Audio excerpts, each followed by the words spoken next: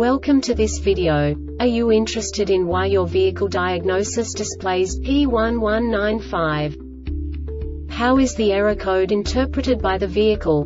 What does P1195 mean, or how to correct this fault? Today we will find answers to these questions together. Let's do this. First, let's look at the history of diagnostic fault code composition according to the OBD2 protocol, which is unified for all automakers since 2000. We divide the electric system of automobile into the four basic units. Powertrain, body, chassis, network. This distribution is defined in the first character code. If the second character is expressed as zero, it is a standardized error. In the case of numbers 1, 2, 3 it is a more prestigious expression of the car-specific error.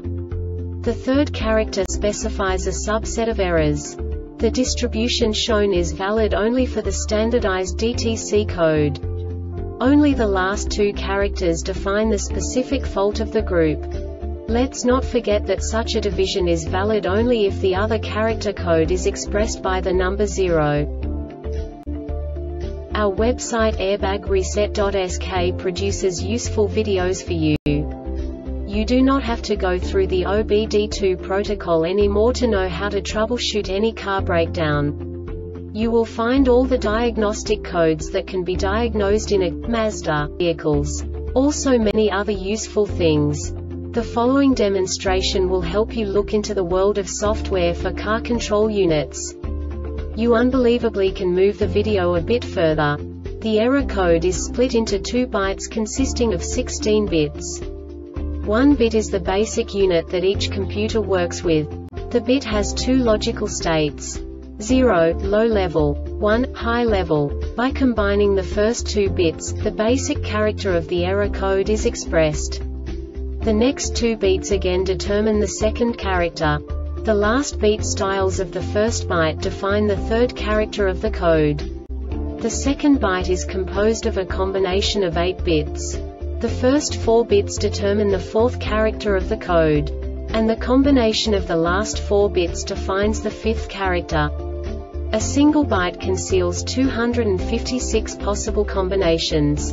We now know in what way the diagnostic tool translates the received information into a more comprehensible format. The number itself does not make sense to us if we cannot assign information about it to what it actually expresses. So, what does the diagnostic trouble code P1195 interpret specifically Mazda car manufacturers? The basic definition is pulse width modulated PWM delivered torque. And now this is a short description of this DTC code. The ignition switches on the DTC can be set after system initialization. This diagnostic error occurs most often in these cases. It is very important that a thorough inspection of the wiring and connectors be performed. Failure to carefully and fully inspect wiring and connectors may result in misdiagnosis, causing part replacement with reappearance of the malfunction IFN. The Airbag Reset website aims to provide information in 52 languages. Thank you for your attention and stay tuned for the next video.